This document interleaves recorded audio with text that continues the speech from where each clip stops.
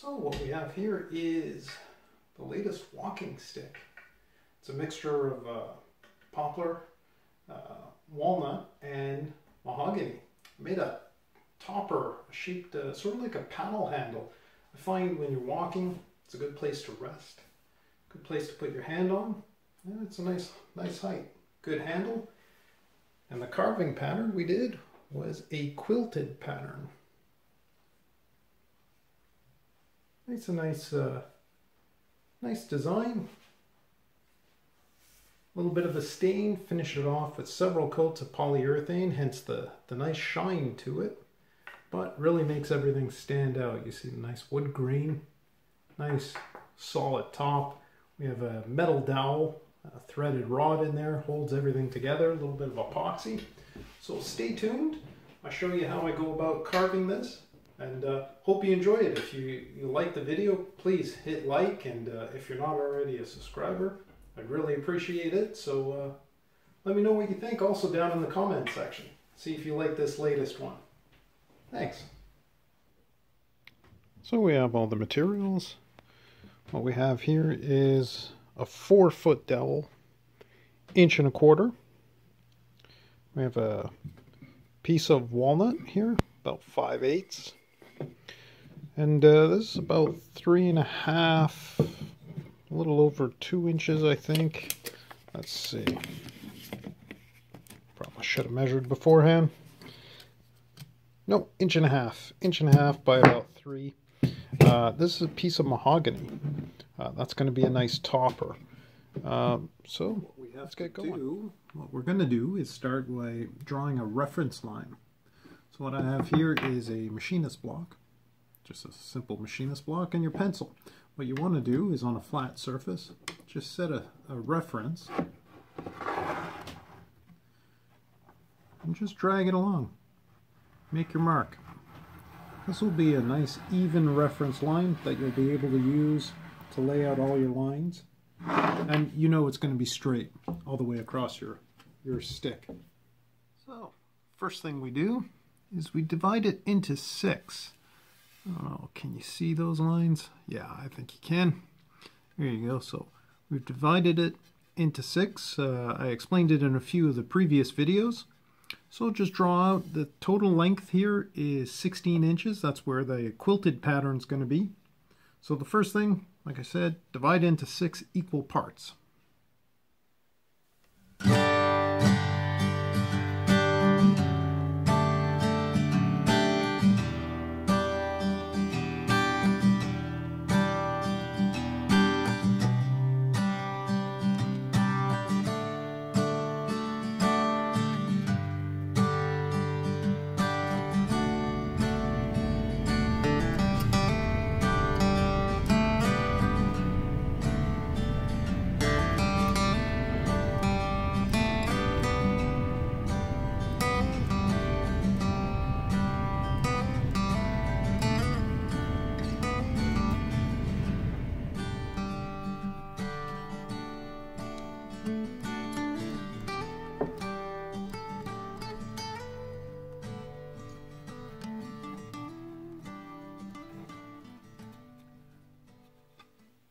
So you see the diamond pattern that we're working out here.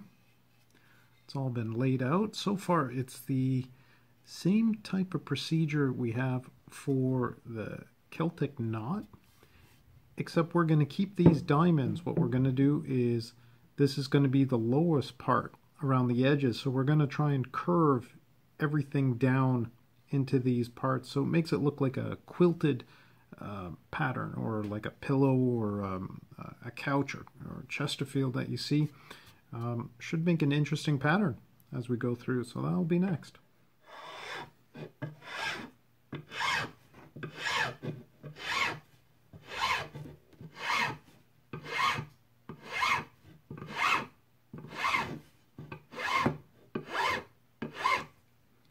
Just using a triangular file.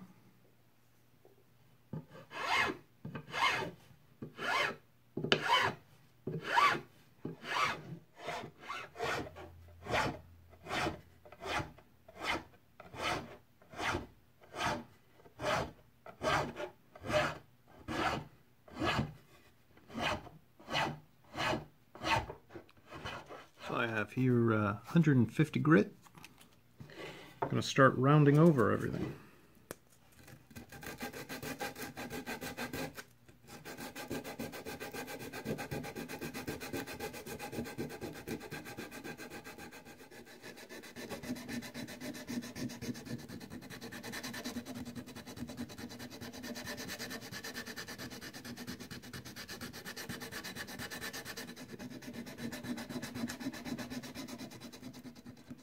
So after a little bit of sanding, I think we're getting the pattern like we want it.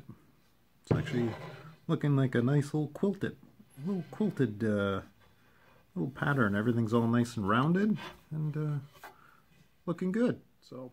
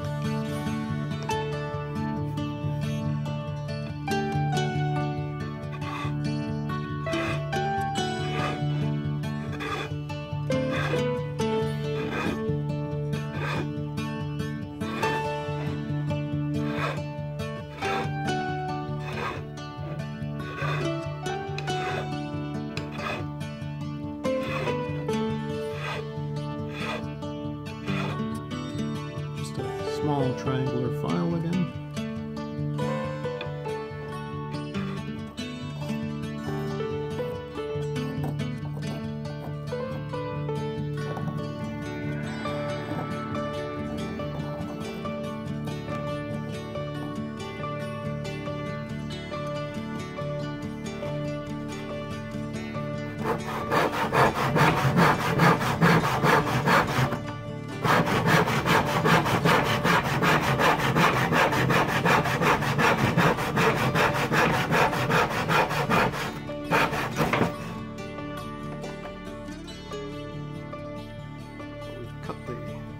Shape out. Obviously we've got to round the whole top off. We're to put the piece of walnut at the bottom. And then uh, probably a metallic dowel uh, threaded rod into the stick itself. And uh, a little bit of work to do, but uh, we'll curve all this, make it a nice little top handle using a little bit of uh, bond 2, nice waterproof glue.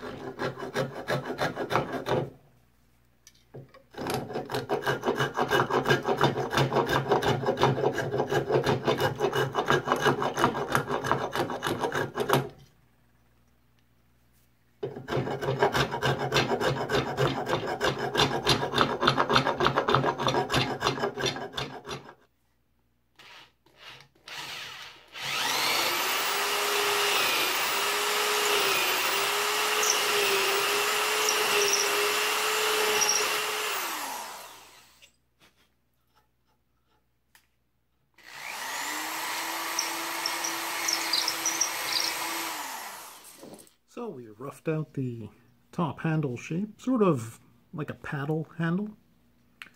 Drilled a hole for a 3 8 threaded rod. That's going to fit in there. And then in the stick itself at the top, another matching 3 8 hole. And we're going to epoxy everything together. So that's what we're going to do now, a little two-part epoxy here. And uh, we're going to first put the threaded rod into the handle, and then we're going to put everything together.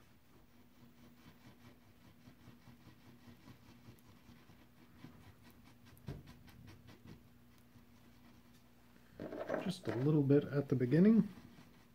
This is a tight fit in the handle, so we don't need a lot of epoxy to get this together.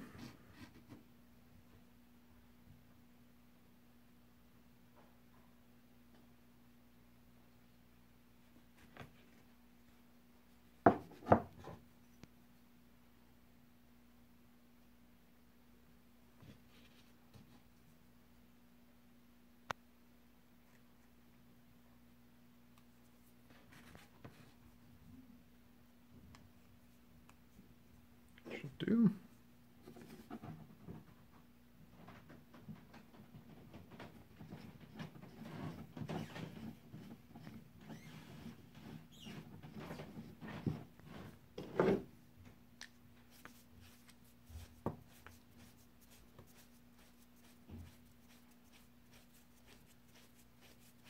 All right. That should do it on that part.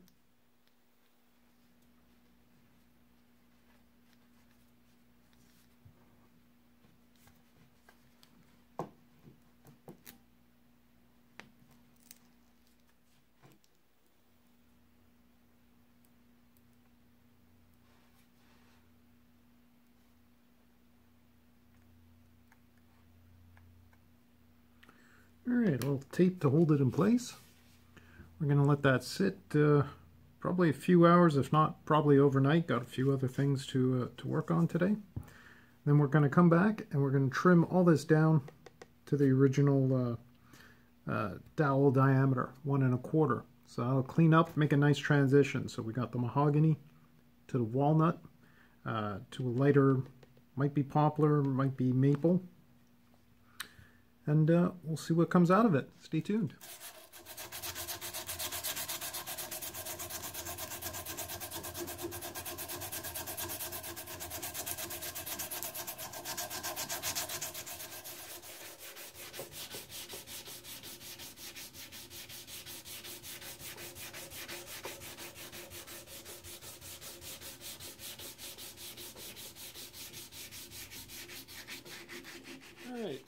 Just tapering the base down to uh, fit a small rubber foot. This is a uh, 7 8 rubber foot.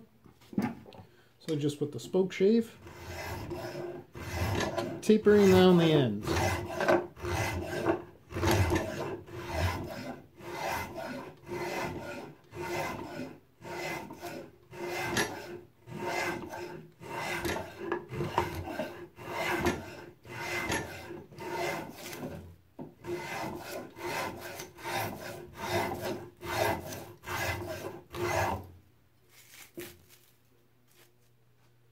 So it looks like we're ready for stain. So you see the mahogany top with the uh, walnut little inlay. What we're going to do is we're going to leave this little strip here white and we're going to stain the rest of it a uh, light brown. But here you see the quilted pattern. That'll make the stain will make this stand out. A little bit of stripes and then tapered down to a small 7 8 uh, foot to be there. But this part is a little too too light, too white compared to the uh, the top. This is going to darken up beautifully with uh, a little bit of oil. So let's get to it. So we put on a, uh, a light brown stain on the main stick just to darken it up a little bit. It was uh, a Varathane uh, Provincial. It's a nice light brown. Now what we're going to do is on this beautiful hardwood, the mahogany and the walnut, we're going to do a little tung-and-teak oil. So that'll darken things up here and then we'll see how that all turns out.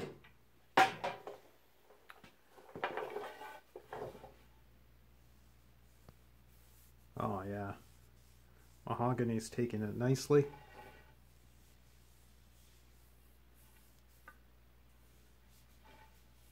On the walnut, of course, everyone knows a walnut with some oil on it. Really turns out some nice color. So you're going to see a darker brown, really deep, deep brown. Nice transition. I think that's going to work out great.